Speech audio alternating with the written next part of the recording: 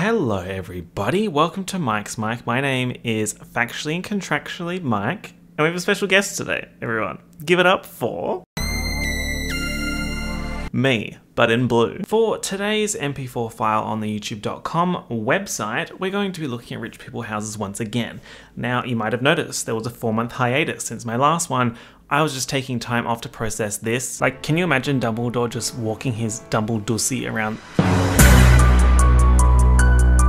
Also, everybody, oh, knee content, everyone. The girls are out. I spent an unnecessary amount of time making this graphic showing my socials, and I really hate it. Like, it's so ugly. But it does show you the socials, so if you want to follow, go ahead and do that. Last time I used the website Sotheby's International Realty, and I went on their website to use it again this time, However, something is wrong because a bunch of the top listings are, let's just say, interesting. One of the most expensive properties is this $875 million drive-in theatre. Hmm, no more Sotheby's babes. For this episode of Judging Rich People Houses, we're using a website called James Edition. JamesEdition.com. James has many things on sale. He's got real estate, he's got cars, yachts, jets. Yes, people are buying jets online. Uh, where'd you park the jet? Wait, in order to park a jet, do you need a runway? Can you just make a runway? Like, can I just go to a park? This is my runway now. I see a great deal of myself in you. Let's start with this winery in Navarra, and it's a cute 26,579,442 six bedroom, five bathroom. And the description is wonderful vineyard for sale in a priceless setting in the north of Spain, complete with a historic house, romantic gardens, and forest dating back to the 19th century. There are five pictures. How are they going to convey this entire outside, inside in five photos? Well, let's have a look, shall we? This picture here, yeah, look, I'm sold. I'm practically writing and signing the contract and sending it back for approval as we speak. I love a maze. You saw my video on the Maze Runner, unless you didn't, in which case you're the flop and you're to blame. So let's talk about the building. It's giving, it's giving, it's giving. I think I could look hot in this building. Like, I don't think you can be ugly in this building. Like, if you were ugly, and you went to this building, I think it would just like raise your hotness level up a few points out of 10. So I think for all of us, this could be a good purchase. Picture three. I mean, I barely even noticed that the pictures changed because it's pretty much the same one, just slightly different. What are you hiding? First name James, last name Edition. What are you hiding? I'm gonna be real with you. I've had a few nightmares recently that involved me running through fields, being chased, by, I'm actually not going to say who's chasing me, but it's a person, like a quite well known person. So while this is a cute field per se, I immediately have issues because if I'm being chased through this field, where's the lighting? There are no lights. Like I'm just looking at this like there are no lights. If I head out, if there's a power outage, it's done. I'm scared of the dark. I'm 25 and I'm scared of the dark. What's worse, me being 25 or me being scared of the dark? Pick a struggle, honestly. But then they really just throw me out with this last picture because I don't understand the relevance. Like we've got all these pictures of this like vineyard and the historic house. Suddenly, this modern looking thing. So I think somebody's lying. Next we have this house for sale. La-di-da, la-di-do, la-di-dee. Historic Louis XIII castle. not the Tomlinson. Distinction of being located only a few kilometers south of Paris, aren't we all? This house and its displeases. Disple... dis... dis... What? I can't. So the girls are saying that this is technically a castle.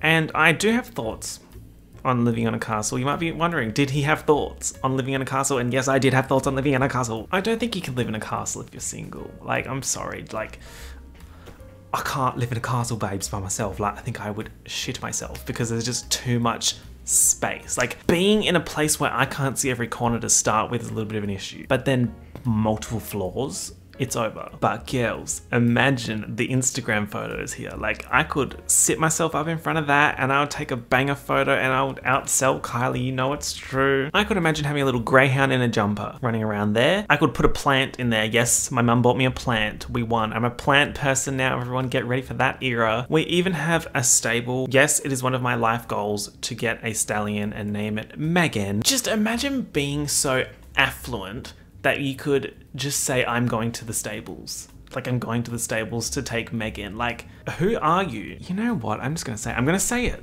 I think Dua Lipa could live here. But my question remains, tea or coffee? No. Why are there no pictures of the inside? Could you not just put one picture of the foyer, perhaps? I want to be rich and I want lots of money. Don't care about clever, don't care about funny. Magnificent apartment in historical property.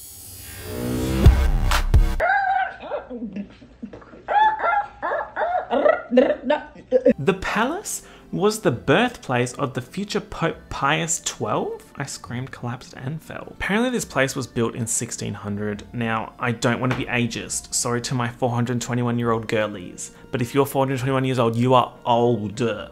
This place is old. I'm fretting for the structural integrity as an engineer. Like, it's cute, but at what point do we move on? There's a chandelier for Sia to hang on. You know what? It has a certain charm. The tiling is interesting.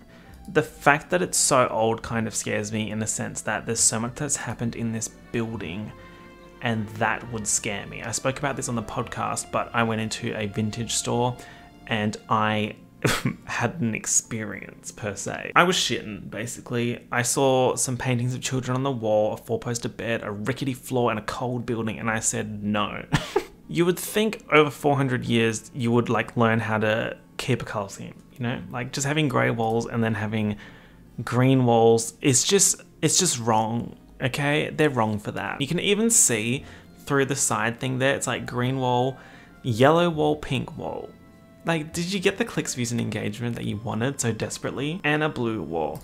And a yellow wall and a yellow wall, and a yellow wall, and a pink wall, and a blue wall, and a green print wall. Ooh, sorry to this Pope, but this is just not it.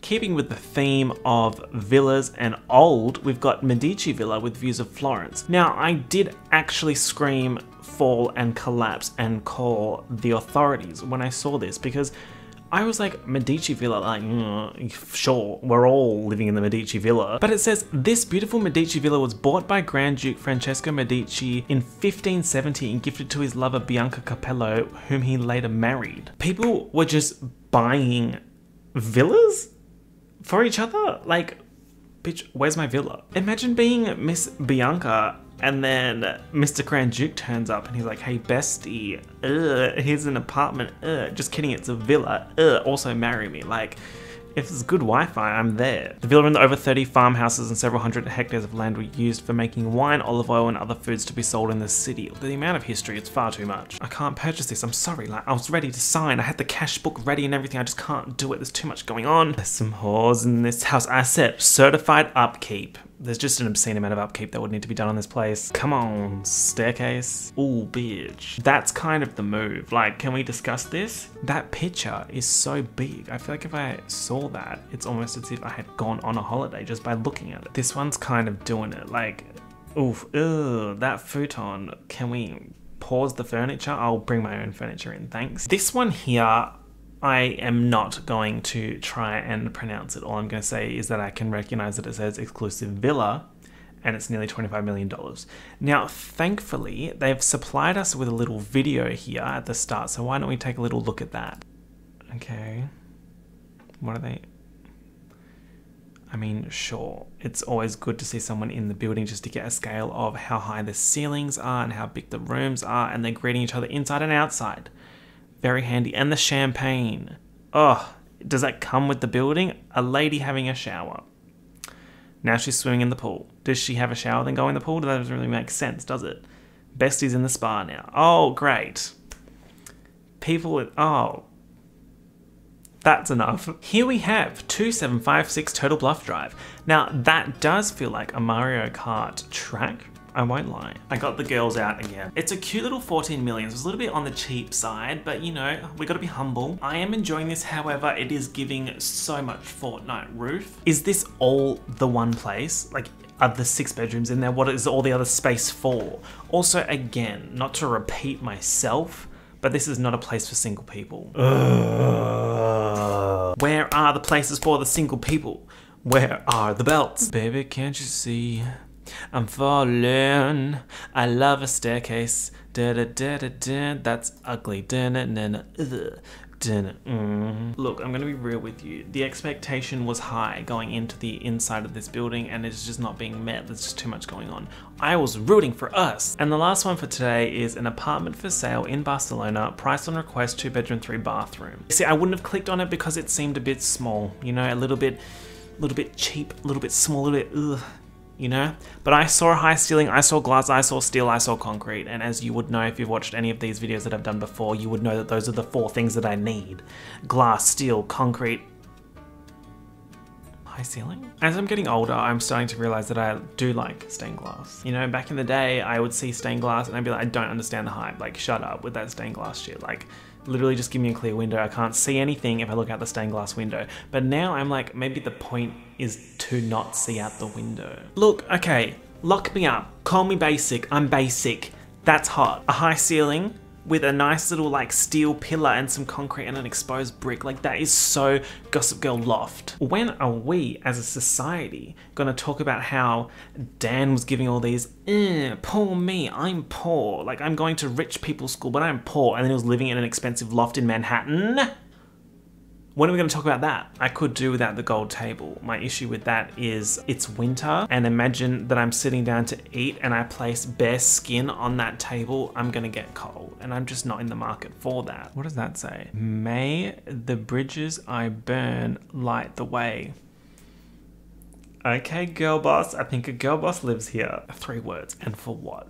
What is the purpose? You're like, mmm, marble, mmm, gold, May the bridges I burn light the way. Like, what is the purpose? What are you trying to achieve? Hot chair. Like, you can't sit in that chair and not be hot. Like, if you think you're not hot, buy that chair and sit in it. This actually raises a point that I would like to make about interior design. I love this shit. When it's like a painted wall and it's like underneath scratch and sniff there's a brick. You know what? I think I could be single and live here. So let's just, let's manifest that for me. My Barcelona era. Funnily enough, I myself, I've been furnishing the apartment. As you can see, there's things happening behind me in this room, but also just in general, I've been like making some purchases, ordering some stuff to make my apartment a little bit nicer. So maybe when that's done, I can do an updated apartment tour if that's of interest. That does bring me to the end of this video. If you enjoyed it, feel free to leave a like. If you got something to say, leave a comment. And if you're not subscribed, remember to hit that subscribe button and check out my other socials. Thank you all so much for watching, and I'll talk to you all soon. Peace out. Bye. Welcome to the end screen.